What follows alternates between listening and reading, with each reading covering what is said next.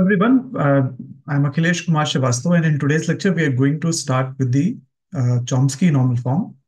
And uh, Chomsky normal form is uh, actually represented in order to simplify the process of the derivations.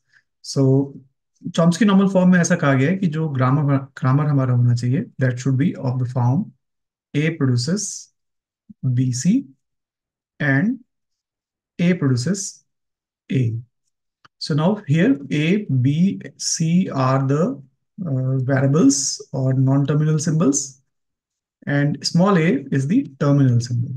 तो जितने भी हमारे productions होंगे grammar में वो इसी फॉर्म के होने चाहिए। इसके अलावा किसी फॉर्म का नहीं होना चाहिए।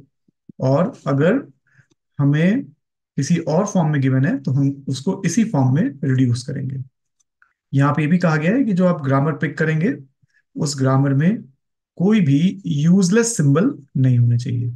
यूजलेस सिंबल का मीनिंग क्या है? कि जैसे हम लोगों ने सिंप्लीफिकेशन प्रोसेस डिस्कस किया था प्रीवियस लेक्चर्स में तो यूजलेस प्रोडक्शन का यहाँ पे मीनिंग है कि ऐसा प्रोडक्शन जो नॉन जनरेटिंग है, वो नहीं होना चाहिए।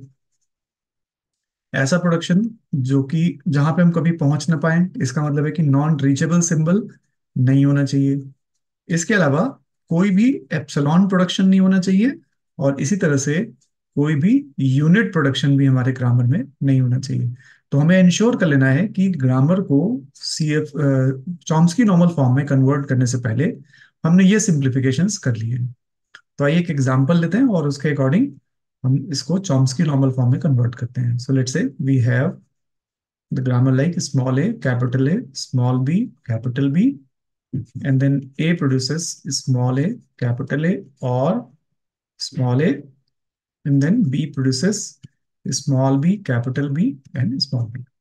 तो नाउ इस ग्रामर को अगर आप ध्यान से देखें तो यहाँ पे जो प्रोडक्शन हमारे काम के नहीं है वो हमारे हैं S produces small A capital A small B capital B काम करने का मतलब सिंपली ये बात है कि हमें इसको एफ़ फॉर्म में कन्वर्ट करना पड़ेगा।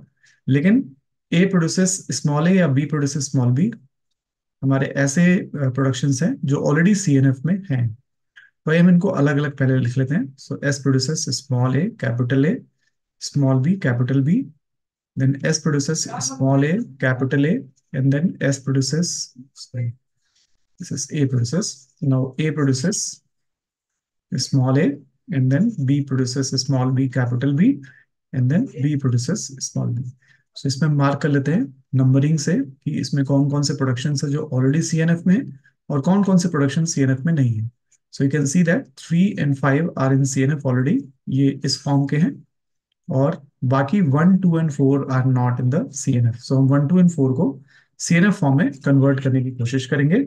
इससे पहले हम ये भी देख लेते हैं कि क्या हमारे पास कोई यूजलेस सिंबल है इसमें या नहीं है। मेरे दृष्टिकोण से इसमें कोई भी यूजलेस सिंबल्स नहीं है। तो हम इसमें डायरेक्टली स्टार्ट कर देते हैं डिराइवेशन या conversion in the Chomsky normal form तो आप देख सकते हैं कि जो प्रोडक्शन नंबर टू है, जिसमें A producer small A capital A की हम बात कर रहे हैं दिस वन यहाँ पे अगर हम स्मॉल ए सिंबल को किसी टर्मिनल नॉन टर्मिनल से या वर्ड वेरिएबल से डिराइव करा दे तो ये चॉम्स्की नॉर्मल फॉर्म में कन्वर्ट हो जाएगा। तो इसलिए हम क्या करते हैं, मान लेते हैं कि सी ए डिराइव्स ए और इसी तरह से सी बी डिराइव्स बी क्योंकि production B produce small B capital B में भी ये रिक्वायर्ड होगा। सो so, अब इसके बाद हम क्या करते हैं कि जो प्रोडक्शन नंबर वन है उसको रीराइट करते हैं। सो प्रोडक्शन नंबर वन से is that S small A small A को हमने चेंज कर दिया है सी ए में और capital A then C B and capital B इसी तरह से ए को हमने चेंज कर दिया। This is C A and capital A then third number production जो हमारा था उसको हम ऐसे लिखेंगे क्योंकि ये ऑलरेडी सी एन एफ़ में है। चॉम्स्की नॉर्मल फॉर्म में फोर्थ नंबर प्रोडक्शन को हम रीराइट कर रहे हैं। इसको हम लिख रहे हैं सी बी बी के फॉर्म में। And then B produces small B already C N F में लिखा हुआ है। ओके okay, सो so अब हमें जो हमारे जो प्रॉब्लमेटिक प्रोडक्शंस हैं या जो ऐसे प्रोडक्शंस जिनको हमें चेंज करना है सी में वो कौन कौन से हैं? अगर हम दोबारा से इसको नंबरिंग कर दें one two three four and five इसके अलावा सिक्स और सेवन हमारे पास दो नए प्रोडक्शन मिले क्योंकि ये ए और बी सिंबल्स को जनरेट कर रहे हैं। मैंने इसके बाद आ, हम जो वन नंबर प्रोडक्शन है उसको हम रीराइट करते हैं। So let say we are writing this one number again S S produces let say C A followed by some C one हमने एक नया वेरिएबल या नया नॉन टर्मिनल ले लिया। अब एक काम करते हैं कि जो वन था उसका फिर से क्योंकि वन में हमने सी वन वेरिएबल ले लिया है तो सी वन को हम फर्दर एक्सपेंड करते हैं लेट से सी वन का मीनिंग है A C B and B okay now अब ये जो इसमें तीन नॉन टर्मिनल सिंबल है, ये नहीं हो सकता सीएनएफ में। तो हम क्या करते हैं कि ये जो सी बी एंड बी वाला पार्ट है, इसको किसी और वेरिएबल में चेंज कर देते हैं। लेट से हमने इसको सी टू वेरिएबल में चेंज कर दिया। So what will C two be C two will be equals to A sorry C B and capital B